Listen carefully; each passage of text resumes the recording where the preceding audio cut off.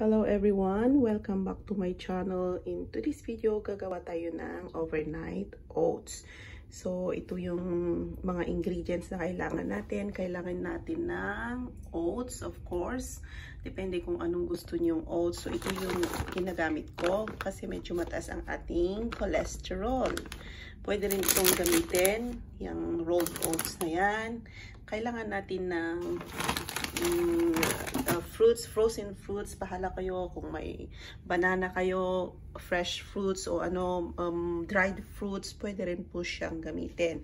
At saka ito, chia seed, um, gatas, so depende sa inyo kung anong gusto niyo gamitin na gatas, yung full cream o yung soy cream, bahala na kayo kung anong prefer ninyong ano, gamitin. At saka kailangan natin ng maple syrup at saka um, yogurt. So, yan lang po ang kailangan natin. Napaka-simple at saka napaka-sarap na breakfast. So, naglagay na ako dito sa ating bottle ng tig 1 cup of uh, ano, oats.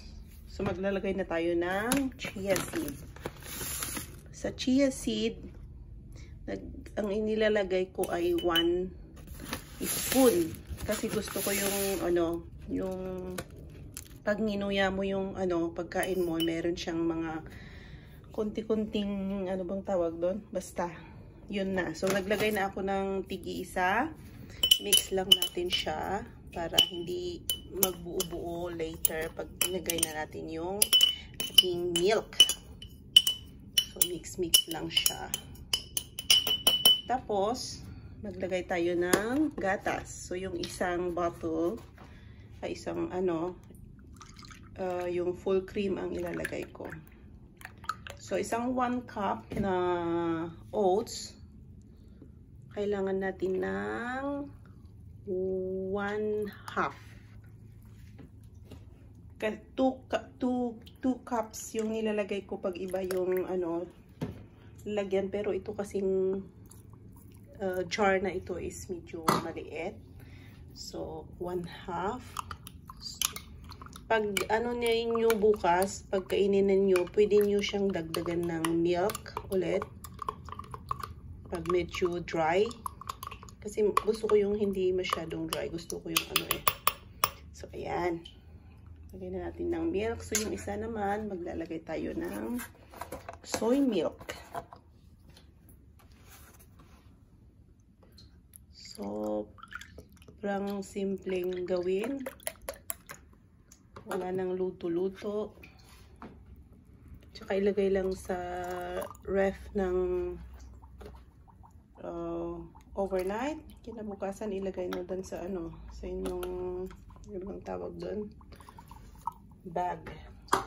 So, ayan. Pinag-iba ko siya para ano naman. I-ano lang natin mix lang natin para hindi magbuo-buo yung oats doon sa loob.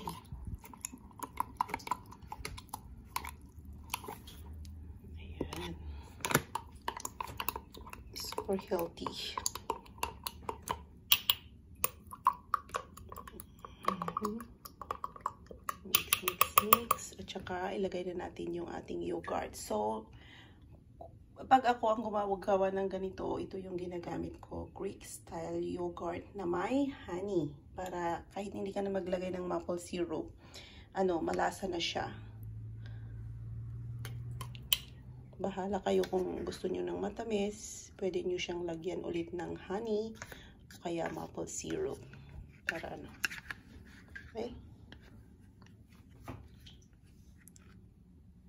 Ilagay sa akin, mas gusto ko yung naka, ano, eh, individually uh, pack na yogurt.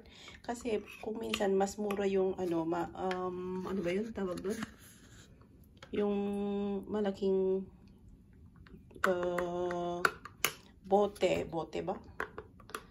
Kaso lang, kung minsan, ano, hindi ko nagagamit lahat. So, ang nangyayari, tinatapon ko na. So, mas maganda itong, ano, mas maliliit. Ayan. O, diba? Nag-ano na siya, nagtitiken na siya. Siyang, pwede na siyang kainin. Pero hindi pa yan pwedeng kainin. After 2 hours or overnight pwede. So, ayun. Sayang oh.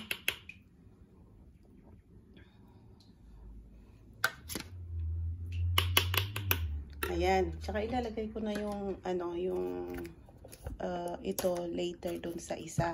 Pinakita ko lang sa inyo kung paano. Ayan, super simple. Maglagay lang tayo ng ganyan. I-alo lang, ihalo lang natin. Kung gusto niyo lagyan ng berries o fruits, pwede rin. Pero mas gusto ko yung kinabukasan ko na siya ilalagay. Para ano, hindi mag-iba yung color, mga ganyan. Pwede nyo siyang ilagay dun sa loob. Pero bukas ko na siya ilalagay. So, ayan. Ang ating overnight oats recipe. Super simple and yummy. Okay, that's it for today. Bye-bye.